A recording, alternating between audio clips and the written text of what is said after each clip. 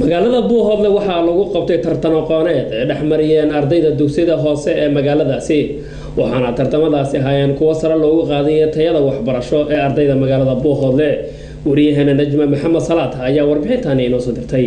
Magaalada buuhoodle ayaa waxaa lagu soo gabagabeeyey tartan aqooneed u socday dugsiyada dhexe ee magaalada buuhoodle tartan aqooneedkan ayaa waxaa ka qayb galay lix iskuul oo ka dhisan magaalada buuhoodle tartankan ayaa waxaa soo qabanqaabiyay ururka handhis ee ka jira magaalada buuhoodle lixdii iskuul ee tartamaya ayaa halkaa waxaa isugu soo hadhay laba iskuul oo kale ah abubakar sadiiq iyo salaamo gushuna ay ku raacday abubakar sadiiq telefishinka caalamiga ee royal t v ayaa wuxuu waraysi la yeeshay guddi dhexdhexaadiisa tartankan iyo ururka handhis oo ka mid iyaguna gobolka runtii farxad iyo nasiib iyo wanaag bay noo tahay maanta ay si nabadgeliya oo farxad iyo macaan ay ku dheehan tahay noogu soo gabagoobo iyagoo keenyaqiisu ku soo hadheen dugsiga hoose dhexe abubakar sadiiq iyo dugsiga hoose dhexe salaama sidaas ay guusha ku dugsiga hoose dhexe abubakar sadiiq waxaan guud ahaan iyo gaar ahaanba u mahad celinaya dugsiyada hoose dhexe dhammaantood.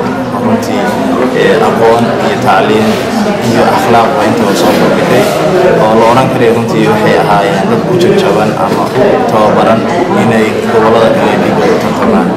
Sidoo kale waxaan u mahad celinayaa handhiis oo runtii ahaa dhiirigeliyaasha gobolka maadaama gobolkan inta badan ay jirin ururo fara badan oo ka qayb qabta horumarka iyo dhiirigelinta dhalinyarada runtii waxay noqdeen ururka keliya ay nasiib yeeshay inay sannadkii labaad tartankan daadiyaan.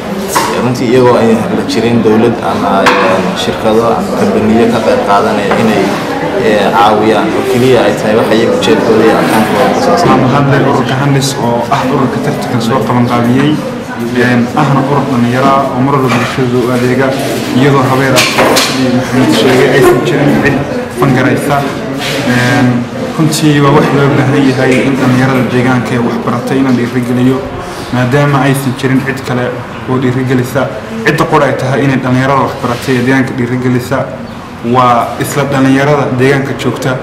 Weliba dee sida loo kala aqoon sarreeyo in laysu dhiirigeliyaa la doonaya kuwa jaamacadaha dhigta ama kuwa ka soo baxay waa inay dhiirigeliyaan oo aqoon waxay dhammaan ay u faa'iideeyaan kuwa dugsiyada sare ku jira kuwa dugsiyada sare ku jira kuwa ka sii hooseeya dugsiyada hoose dhexe dhiganaya waa inay dhiirigeliyaan marba hadba waxay ku dhaamaan ay u sheegaan. Haddii sidaan iskugu tiirsanaano run ahaantii wanaag badan iyo horumar badan baan gaadhaynaa. Maadaama aysan jirin cid kaloo dee meelaha dabooleysana waxaa loo baahan dhalinyarada deegaanka inay daboosho. Lix cashaa noo socday oo markaas aan u soo qabanay ardada dugsiyada hoose dhexe ee gobolka ee tartankan oo markaas u dhexeeyey iskoolaadka hoose dhexe tartanku ugu dambeyntii ku soo guuleystay oo finaalka isugu yimid dugsiga hoose dhexe oo bakar sideed iyo dugsiga hoose dhexe ee salaama. Waxaan u rajaynayaa guud ahaan intii tartamaysay oo dhan inay isu wada guuleysteen kulligood. Tartankani muddadii uu socday. Aad bay u soo bandhigeen ardayda aqoontooda iyo qiimahooda akhlaaqdooda iyo aqoonta ay markaas ay barteen oo marka ay la yimaadeen barnaamijkanna waa tartanka labaad ee marka rabaantan u qabsooma organizationka handis oo markaas soo qabanqaabiyey tartankan aqooneedkan sannadkii hore waxaan u qabanay xaafadaha gobolka. Sanadkan waxaan u qabanay dugsiyada hoose dhexe. Sanadkada soo socdan insha allah waxaan u qaban doonaa ardada dugsiyada sare. Annagoo markaas u gudbi doono inaanu ardada tartan u gelino gobollada dalka. Ee guud ahaantii si aan u soo saarno aqoonta deegaankeenna waana mid mas'uuliyad ah oo saaran guud ahaan dhallinyarada gobolku in ay si hufan ooga qayb galaan halkan. Sidoo kale halkaa waxaa ka hadlay labada iskuul ee tartanku dhex maray. Maanta oo kale iskuulka abubakar sadiiq iyo salaama ugu hambeleeyay ururka handhis ee soo qabanqaabiyey qoonkarusigan annaga iyo abubakar. Maanta xarunta salaama ee ay noo soo qabanqaabiyeen guddida handhis aad iyo aad bay u mahadsan yihiin.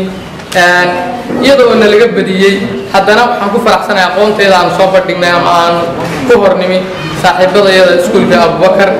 Aan iskula baranayna aqoonteeda isku madaxiin dowladda hagta oo inaga hagta in aqooneed inayna inaga hagdhan aqoon balse ilaahay wuxuuna siiyey urur markasta nagu garab taagan inay noo qabtaan tartanka noocan ah. Waxaan maxaa iskada ardaydii nala tartamaysay. Oo ugu dambe kilaarka ugu dambeeyay maanta loo haystay